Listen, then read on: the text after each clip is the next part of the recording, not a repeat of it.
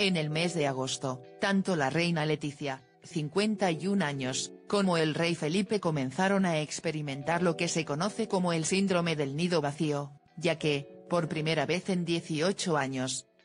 los reyes iniciaron una nueva etapa de sus vidas sin la compañía de sus dos hijas, debido a que la princesa Leonor, 17 años, empezó su formación militar en Zaragoza.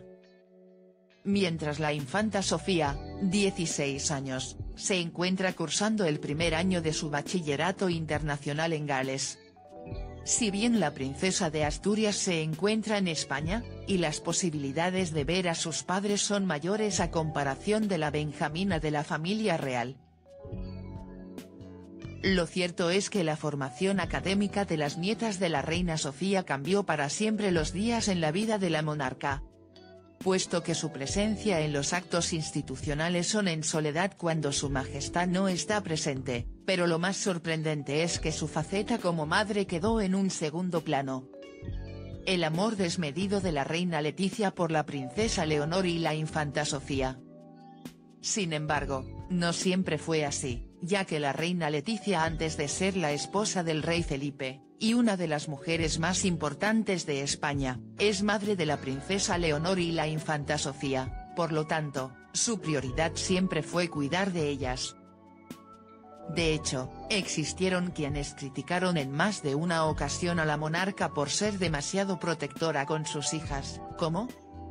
Por ejemplo, cuando la heredera al trono ingresó a Zaragoza, la reina consorte en ningún momento soltó de la mano a su descendiente y, Además, se despidió de ella con un gran abrazo.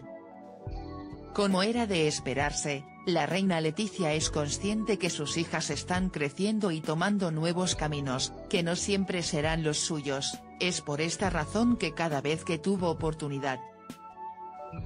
la monarca dejó demostrado que antes de ser una reina, ella es madre de dos adorables pequeñas que ahora son mujeres que tienen muy en claro sus objetivos en la vida. De más está recordar que cuando la princesa Leonor, al cambiar su posición en los actos oficiales al recibir el Toison de Oro en 2018, fue la esposa del rey Felipe quien estuvo muy cerca de la infanta Sofía para que no sienta diferencia con su hermana. De hecho, así lo detalló Luke al momento de exponer cómo la madre de la princesa Leonor cuidó a la infanta Sofía ante la nueva posición de su hija mayor. Hasta la fecha, las dos hijas de los reyes solían colocarse junto a su madre en los actos oficiales, pero desde ese momento, la princesa pasó a estar siempre al lado del rey. Como es lógico, la reina Leticia se volcó más en la infanta Sofía, para que no se sintiera desplazada, y hemos podido ser testigos de muchos momentos de complicidad entre las dos, mientras que don Felipe y Leonor comentaban alguna cuestión. Indudablemente, la consorte tiene en claro cuáles son sus prioridades, y es nada más y nada menos que cuidar a sus hijas sobre todas las cosas, ya que ser madre de la princesa Leonor, y la infanta Sofía le gana a cualquier título monárquico. Es por este motivo que, Pese a que la reina Leticia es una mujer seria, estricta y está atenta a todos los detalles, con sus descendientes no puede ocultar la debilidad que siente por ellas, a quienes siempre está brindándoles algún gesto de cariño. La jura a la Constitución marca un antes, y un después entre madre e hija. El próximo 31 de octubre la princesa Leonor cumplirá la mayoría de edad y realizará la jura a la Constitución ante las Cortes Generales, significando que desde ese día la reina Leticia ya no podrá tomar decisiones por su hija mayor.